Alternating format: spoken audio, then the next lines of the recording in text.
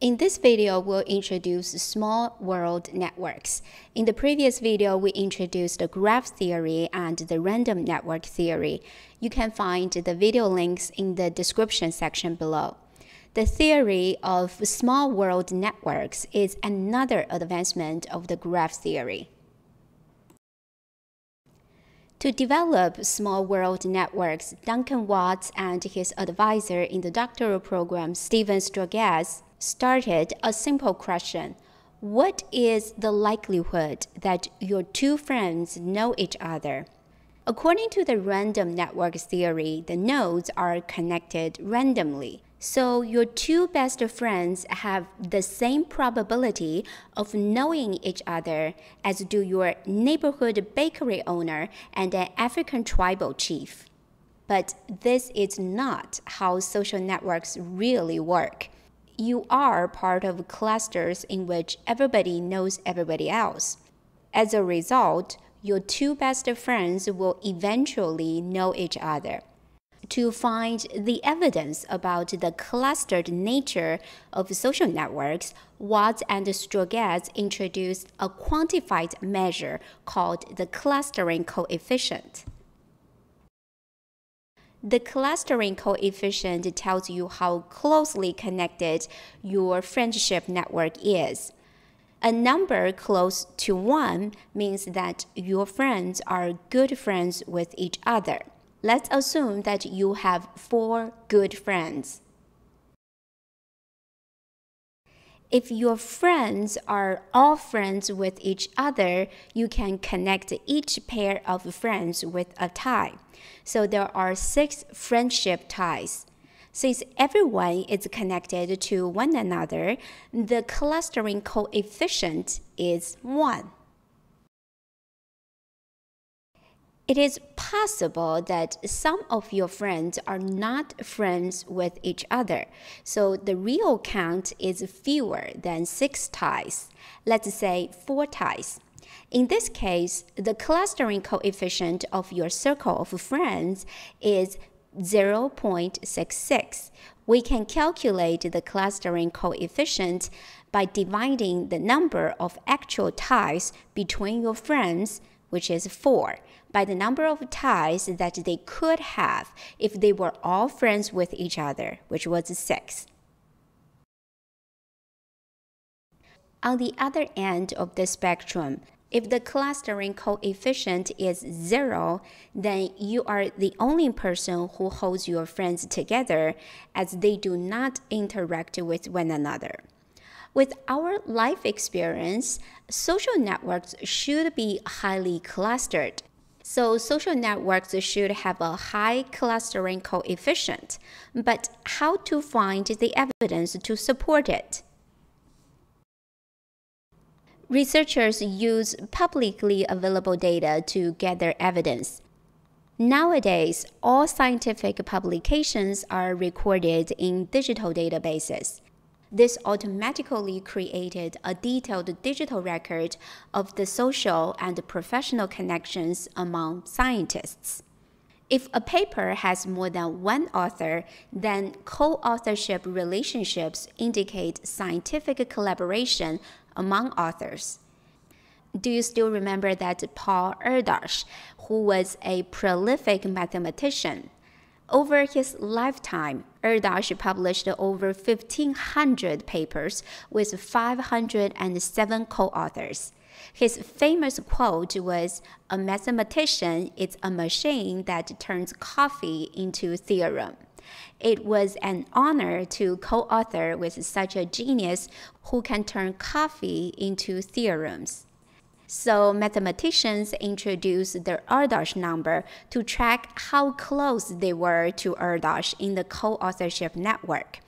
Erdős has the Erdős number zero. Those who co-authored a paper with him have Erdős number one. Those who wrote a paper with an Erdős co-author have Erdős number two, and so on and so forth. Jerry Grossman, a professor of mathematics at Oakland University in Michigan, built a detailed web page collecting the Erdős number for mathematicians. allowing any published mathematicians to calculate his or her Erdős number. A low Erdős number is a matter of pride. Most mathematicians turned out to have a very low Erdős number, being typically between 2 to 5 steps from Erdős. But the influence of Erdős goes well beyond his immediate field of mathematics. Economists, physicists, and computer scientists also can be easily connected to Erdős. Einstein had Erdős number of 2. Herbert Simon, the Nobel Prize winner, who were influential in administrative science and decision making, had Erdős number of 3. Even Bill Gates, founder of Microsoft, who has published little scientific papers, has Erdős number of 4. In fact, many famous people have small Erdős numbers. Wikipedia has a list of people by Erdős numbers with links to their pages.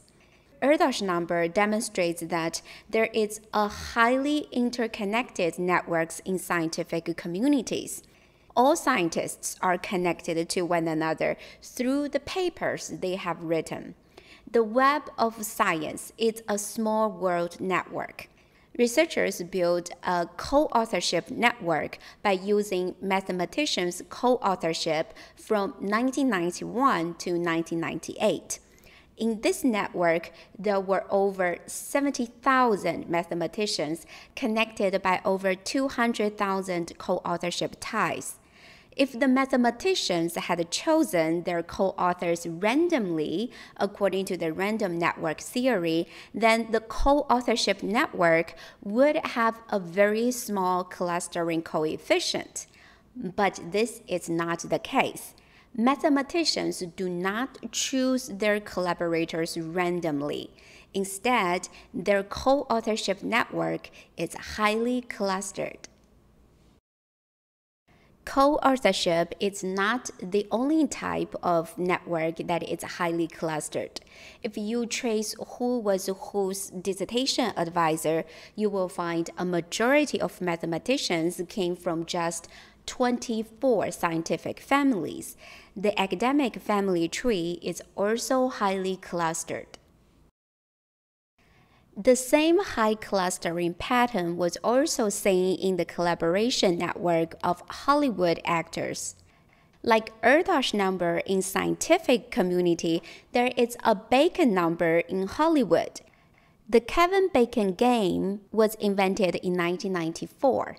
If you acted in a movie with Kevin Bacon, you have a Bacon number of 1 in a network of over 200,000 actors in the Internet Movie Database, most of them have a small Bacon number, a number smaller than 4. More importantly, the high clustering of small world networks does not stop at the boundary of social networks. In your brain, 86 billion neurons form a complicated biological network. It is very difficult for you to map how 86 billion neurons are connected, but scientists have mapped out the neural network of a small worm called C. elegans. The worm is so small, only one millimeter long. It has a short lifespan of 2 to 3 weeks. It has only 302 neurons. Almost every neuron in its tiny body is connected to one another. The neural network of C. elegans has a high degree of clustering at 0.28, much higher than the one in a random network of 0.05. Likewise, the neural networks of human brains also have densely connected clusters, and those clusters are interconnected with others. This network structure allows our brains to perform complex functions with efficiency. How the neural networks are connected are not much different from social networks. The metabolic network of E. coli is also a small world network. E. coli is a germ that can live happily in your body, but it can also cause infections. Researchers tracked the biochemical pathways, the transformation routes from nutrients to end products. Why are metabolic networks small world networks? One explanation is that such networks minimize the transition time between metabolic states so that the networks as a whole can adapt to changes. The same high clustering pattern of the small world networks was also detected in power grids in the United States, the nodes of which are generators and transformers connected by power lines. We now know that high clustering is present on the internet, on the World Wide Web, in food webs that describe how species feed on each other in ecosystems, and the corporate ownership in Germany. The high clustering of small world networks is ubiquitous. In addition to high clustering of nodes, another property of small world networks lies with the path length. The shortest path length is defined as the number of ties in the shortest path between two nodes. If we average all pairs of nodes, we get the average path length. Small world networks have short path lengths on average. For example, in late 2011, Facebook studied the social network on their platform. Facebook had about 720 million users at the time. The average short path length was 4.74. The paper of the Small World Networks was published in 1998 in Nature. The Small World Network model offered an elegant explanation to reconcile the random networks and the real networks. Any network can be a small world network. If two nodes are connected to a common third node, then these two nodes are more likely to be connected to each other than the two nodes picked at random. There is some order behind the formation of ties the tie formation is not completely random. As researchers build network models to make sense of the complexity around us, we tend to assume that networks are either regular or completely random. But many networks, including many biological networks, technological networks, information networks, and social networks, lie somewhere between the two extremes of being completely regular or completely random. Our social networks are constantly evolving, with new relationships are being developed and old relationships abandoned. Not all potential relationships have equal probability of being formed. Who do you know tomorrow depends on who you know today. The evolution of our social networks is driven by a balance of randomness and order. On one hand, we make what seem like random decisions. On the other hand, our social networks are driven by our preferences and characteristics. In this video, we talk about small world networks, which have two properties high clustering coefficient and short average path length. Next week, we'll talk about scale free networks.